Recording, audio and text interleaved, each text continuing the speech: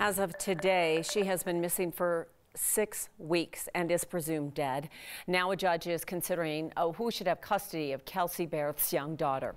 This morning, family members of Berreth's fiance, who is accused of killing her, asked the judge to let them have some say in the little girl's care. Nine months ago, investigator Kevin Vaughn was in Cripple Creek for that hearing this morning. Kevin. Kim, this is a perplexing case. Although Berreth's whereabouts are unknown. Authorities have concluded that she was murdered, and they've accused Patrick Frazee, the little girl's father, of killing her. Frazee arrived at the courthouse for this morning's hearing in a sheriff's van, was whisked upstairs and seated in the jury box.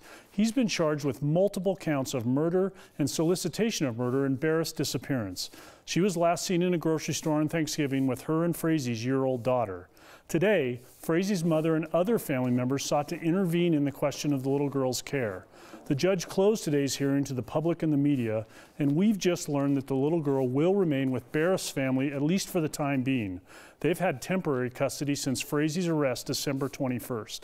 In the meantime, Frazee was led back to that sheriff's van in shackles and returned to jail.